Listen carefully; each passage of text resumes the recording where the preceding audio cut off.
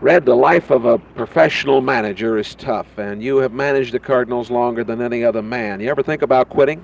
No, I don't hope to quit. I want to. I want to keep managing. I uh, I like it. That's one reason, and uh, I like to be in baseball. That's one thing I know better than anything. So I'm going to try and stay in baseball as long as I can.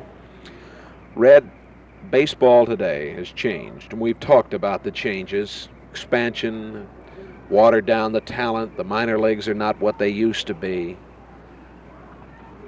The threat of all kinds of problems with the uh, the players based on pension plans and labor and life insurance and one thing another. Men like you, though, and most of the players in the game, they still think of the fans. Well, I do, and I think most of our boys do, and uh, most of the ball players uh, do uh, think of the fans, and uh, you have to because there's where the revenue's coming from. And this is why we try to get an exciting ball club and a good ball club on the field so the people will come out uh, to see us. Sometimes uh, we hear about one player or one specific story that might be blown out of proportion. Sometimes our media is as much to blame as anything. Uh, it, the good player who's giving you everything he's got and doing his job every day, I guess, doesn't always make news. well, no, that's true. And uh, usually, uh, a ball club, uh, Jay, you didn't hear anything about Pittsburgh because they're winning.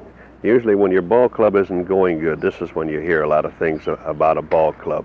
I guess um, more or less the ball player is happy uh, just sitting on a bench, uh, pinch hitting and filling in occasionally when you're winning. But when you're not winning, you know, there's a lot of things. Uh, the news media, uh, ball players from other ball clubs, uh, different people, they start to talk, you know, uh, why aren't you playing? I think you can help the ball club. And this is uh, just agitating.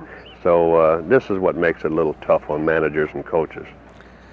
You feel you got a pretty happy family as you get ready for the 72 Cardinals season? Yes, we have, Jay.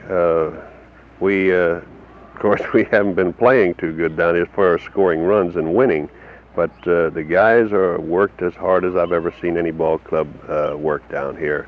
And like I said before, we're going to renew everything, go over everything the day before we leave here. And Friday night, it'll be for real. Friday night is for real, and uh, we hope we can score a lot of runs and pitch good and, and win for the fans all over the country, and especially our St. Louis fans. Red, thanks much for the interview, and uh, look forward to this season and being with you when we can be. Thank you, Jay.